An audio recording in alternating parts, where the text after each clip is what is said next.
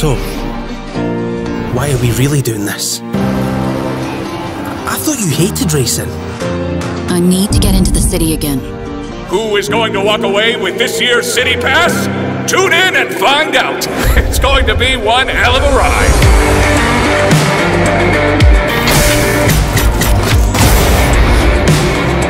How's everyone enjoying the show? He can't be allowed to keep doing this. But how can we stop him? Playing him at his own game.